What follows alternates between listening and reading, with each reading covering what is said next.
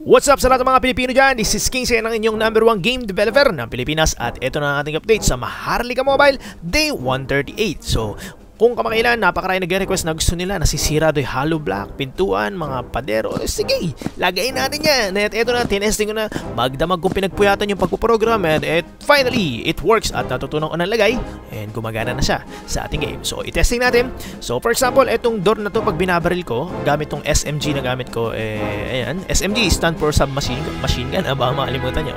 SMG, ayan, ito naman sa Desert Eagle, nakita nyo naman, eh, ayun, nasisira pa rin siya, di ba? So, the next one naman, testing natin sa Granada. Eh, mas malakas to siyempre. Ayun o, di ba? Boom! Nakita nyo, wasak yung pintuan sa lakas ng impact ng Granada. So, yun yung, ano, yung effect nun. So, the next one, naglagay naman ako ng animation para sa explosion ng barrel. So, kung sumabog yung barrel malapit sa'yo, eh, meron kang impact na mararamdaman sa screen mo. Ayan o, nakita mo. Parang medyo, ano, ganun din sa buhay pag nasabugan ka ng plapla. Na-experience ko na kasi dati, hinihipan ko yung plapla ng malapitan. Ayun, nasabugan yung mukha ko. Pero di naman nasira, pero naramdam ko yung impact ganyan na ganyan kamukha nilagay ko ngayon sa animation. So ayan. So the next one is yung hollow block. Pag binaril mo eh madudurog yan. Napakalakas nga lang na pagkakagawa ko right now pero ininerf natin yan para konti-konti lang nasisira sa hollow block. So nakita nyo naman pag binaril eh nasisira na yung mga hollow block sa loob ng game natin uh, di ba?